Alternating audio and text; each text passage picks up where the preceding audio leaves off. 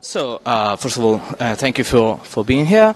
Um, I'll, I'll start asking you um, who are you and what do you do uh, for, where do you work and what do you do uh, for uh, the business uh, and for KDE, especially for Plasma Mobile. So, we'll start with uh. Yeah. Hello. So I am from India and I work for Blue Systems, and um, and Blue Systems is mostly sponsoring my work on KDE Plasma, KDE Plasma Mobile, and KDE Neon projects. And apart from that, I work on various embedded hardware related projects. Uh, for in general, for specific to Plasma Mobile, I mostly work on maintaining it uh, and creating images from time to time and like doing various lower level Im- task improvements and things like that while uh, and I will let Marco explain his part. I am uh, I am Marco. I I am from Italy, uh, near Turin, and uh, I also work for Blue System. I am uh, uh, I am now the, the CTO of the company, uh, but I, I still I still do development work.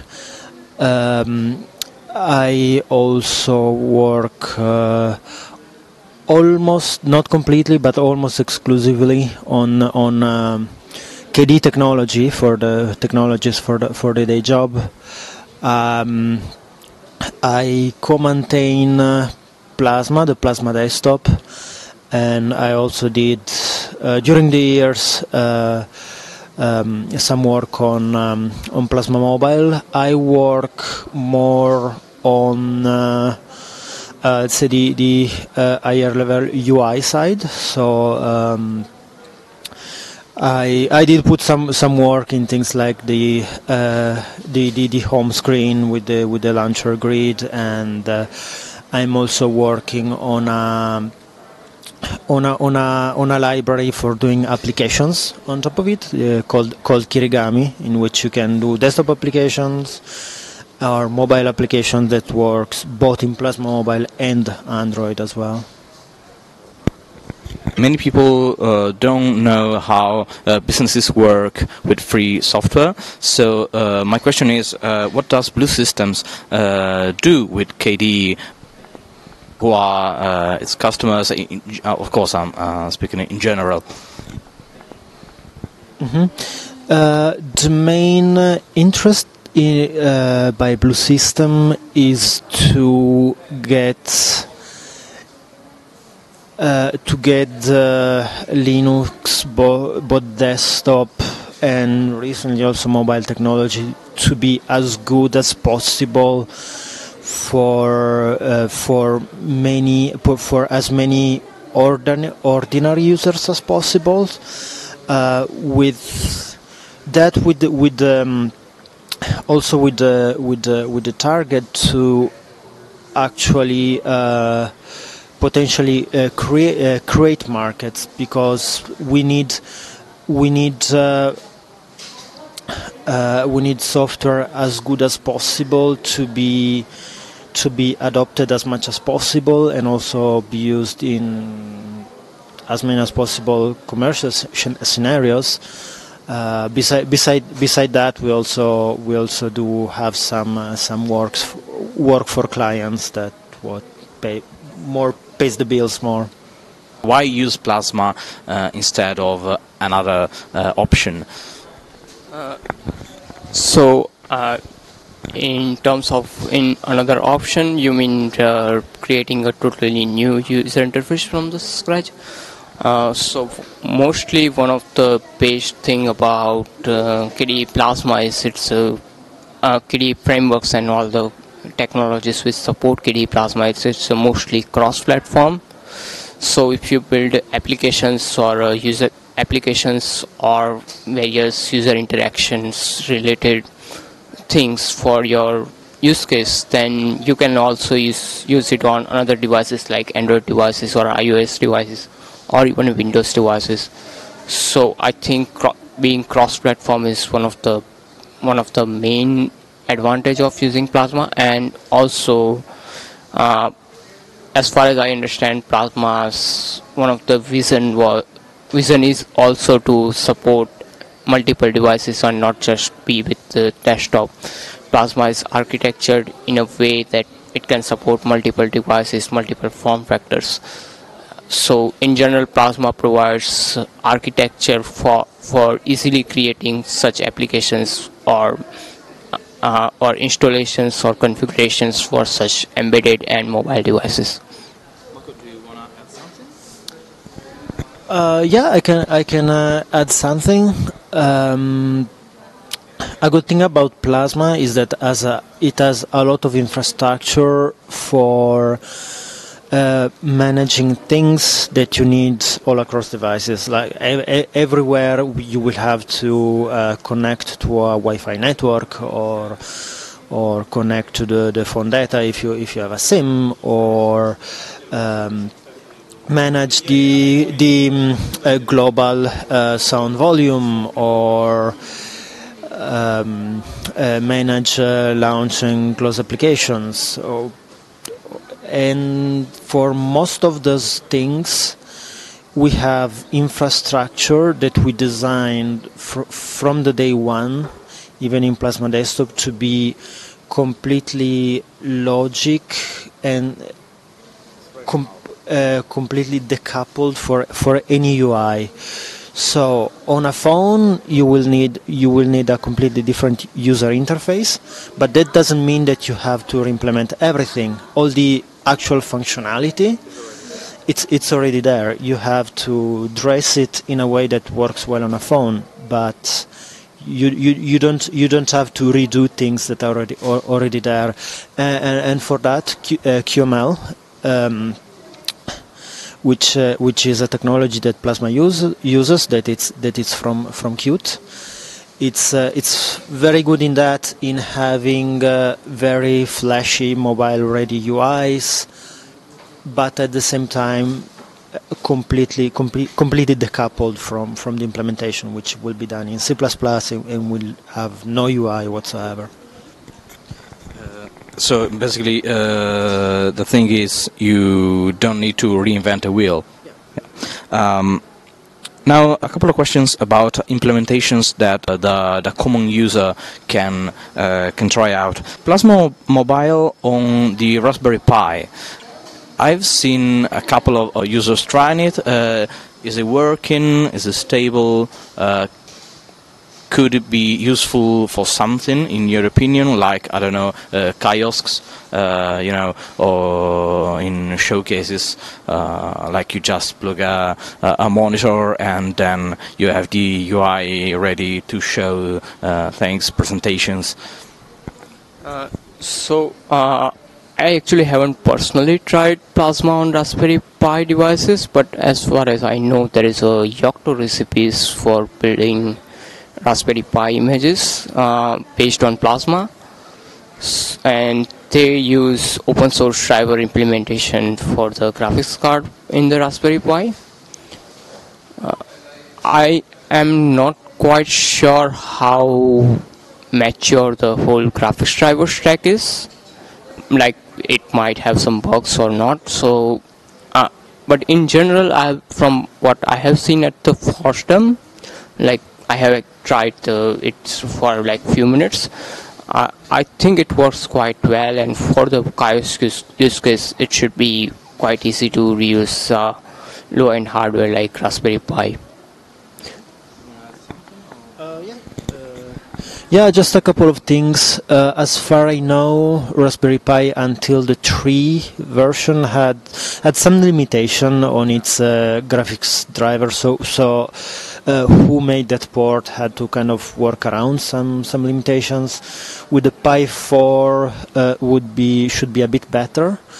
Uh, but also, but also be, um, behind Raspberry Pi, um, there are uh, there are there are also uh, other uh, uh, like the Pine 64 Banana Pi. Some of them have uh, graphic cards that are supported a bit better, so that it can it can uh, you can really do whatever you want with that. Uh, we we have full plasma uh, on like on the uh, Pine 64 hardware.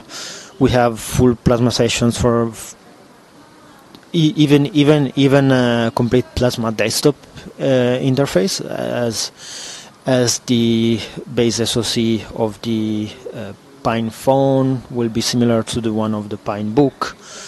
Uh, we we got basically in there both Plasma Mobile and Plasma Desktop, and both works just fine.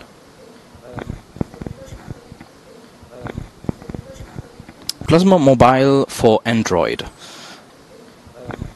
which has been released uh, as a as ROM as an image uh, for uh, I think at least uh, the Nexus 7, the Nexus 5, uh, and a couple of Samsungs. Have you tried it? What um, what do you think it is for? Because I mean, um, lots of Android users are probably happy with just Android. So why have uh, Plasma Mobile for Android? It's just for uh, for the sake of it, just for having it, or could be uh, could it be useful for something? Uh, so I will be uh, I will be honest with you. Like currently in the hardware market, we don't have a lot of mobile devices which are uh, which are as which which are not so much open. There are some work in progress devices, but yeah, yeah, Li- Librem 5 or PinePhone they are work in progress. But previously we did not have such. Lib- we did not have a liberty of choosing such devices, so we had to compromise in a way and use the existing off-the-shelf hardware and make a make a use of Android binary blobs on these devices. So currently we have a uh, project Halium-based images for Nexus for Nexus 5X, and uh, we also provide a root file systems which uh, this device which other devices with the Halium ports could use make use of. Oh, there is. This is uh, yeah Nex- Nexus 5X. Oh, it's the 5X. Yeah, I, I take the mic. Um, so basically, on these, uh, since the the device Nexus 5X was back in the day maybe one of the most openish phones, but even yet, it's it's still pretty close. So there is kind of a. Half of the Android software stack just to, to, to make like drivers work, which so- sometimes works, sometimes doesn't. But uh, what I would say the important for this um, in this moment is mostly to get it in the hand of uh, as many developers as possible since it's not it's not something that is going to to replace your your daily phone uh, those days but but since it's a community project as a community project it's important that anyone that wants to play with it may do that reasonably easy. Um, with our desktop software is easy because everyone has a laptop uh, so um, but unfortunately since the, the situation on, on phones is not as open as on laptops that you can take any laptop and install linux on it um, so less optimal solutions need to, to happen. Also also on phones that are maybe end of line that never had proper drivers but if you can if you can make it work somehow uh, that's always that that's always a, a, a- great help to bring people to it. And hopefully hopefully yeah someday we'll, we'll have a choice of different uh, phones that are open enough the librem the PinePhone, which which you can actually put the a, a, a, proper Linux distrib- distribution which is as recent as possible and yeah. So basically, basically uh, what you're saying is that the advantage of having uh, Plasma Mobile on Android instead of just uh, getting Plasma on uh, Pure OS is that being on Android, uh, it's easier to to work for people who know Android and who needs uh, maybe uh, also Android apps. So it's a um, it's a compromise, and uh, since uh, a full Linux phone is is not really ready for everyday use, uh, a compromise is uh, uh, the best choice we have right now. May I, may I may I clarify one thing? Uh, so when you say Plasma on the Android devices, it's not exactly the it's not exactly Plasma running on top of Android, but the plas- it is basically running a Ubuntu system inside it, and the Android is running inside container just enough to have drivers working. So we are we are not installing it as Android working.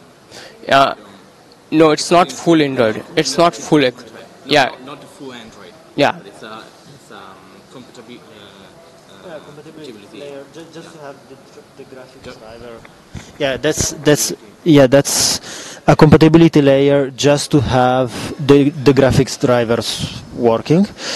Uh, think about I don't know if you remember um, many years ago when when um, um, wireless cards uh, started to be uh, to be popular at uh, at the first at the first days it was almost impossible to get proper drivers on Linux so uh, that NDISwrapper project started, which ta- taken the, the uh, Windows driver and wrapped in a way that could just work on Windows. That's in a way basically basically basically NDISwrapper in, in, in kind of a way just because those those those phones are not open enough to, to install whatever you want as you can on a laptop. Uh, we, we, we should strive in, in a future to have that on, on phones as we have on laptops, but it's not there yet, unfortunately.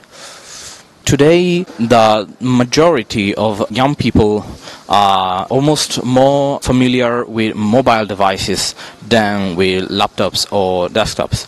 Um, so, uh, in your opinion, your personal opinion, the future of desktops, uh, that of course includes Plasma, uh, could be more on mobile versions than on regular desktops, or uh, the desktop will always be the most important uh, way of delivering uh, this kind of software. I can so I can say it that it's that it's always that it's always a parallel thing uh, because um, it's very important for us for uh, to go also on mobile and make an application that works both that work both on desktop and mobile. However, mobile devices and um, desktop devices are mainly used in two radically different ways. So uh, a mobile device is used mostly to uh, communicate and consume content, but you don't see much complex work done on a mobile device. The uh, I, I see I see desktop devices uh, transitioning more from being a completely general purpose machine to be the machine that you use when you want to create stuff. And the fact of creating stuff it's very important because it's what what we want to encourage. Um, so i i see I see the future of the desktop well, uh, well here to stay, well here to stay for who wants to to to create to create something amazing to build stuff. And also, since we are KDE is also a community of developers, that's that's the first the first tool for them for for creating stuff, even mobile applications. So it's uh, it's very important to be on the mobile space um, because many activities are indeed migrating on mobile, and we want to be in the hands of user, not having free software only when they are on their desktop, but being able to have free software also also when they are on, the, on their mobile. Uh, but still, both will be very important in the future. So the last question, and uh, uh, this is for both of you. Um, is, in your opinion, of course, depending on your role on the Plasma Mobile uh, project, uh, which will be the next important things to um, to implement or to uh, improve in Plasma Mobile in the next uh, couple of years? One of the things which we should be improving is uh, uh, application ecosystems.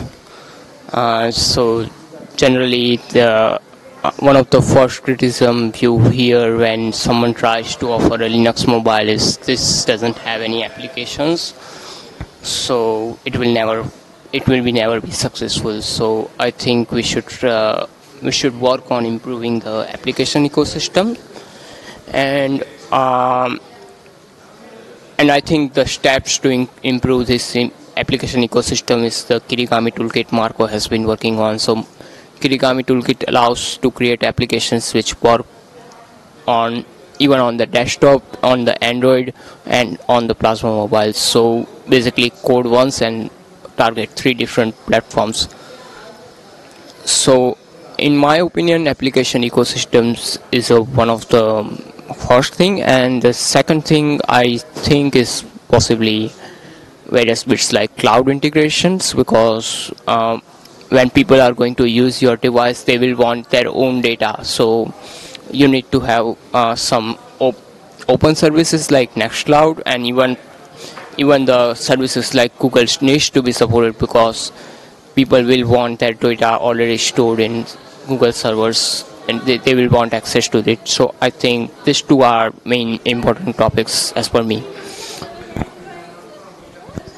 Uh, yeah, I, I, pretty much agree to that. The, the, the first thing, of course, it's ease ease of deployment. I, I, I dream in a future that one can can, can take any phone and just install it on top, like you can do that on laptops. Uh, and of course, the basic, the, uh, all the, the, the basic phone and the basic system uh, behavior has to be has to be spot on. And yeah, applications, application, applications, and the really nice niche we can we can we can really thrive as as one of the goals of KDE this year has been privacy. That that that it's really that the one phone on which you are reasonably sure nobody is spying on you, uh, which you cannot say that for any of the really two uh, big uh, smartphone providers right now. So, uh, so it's basically that. Well, thank you for answering my questions, and uh, uh, of course, thank you for your work on Plasma Mobile. Bye.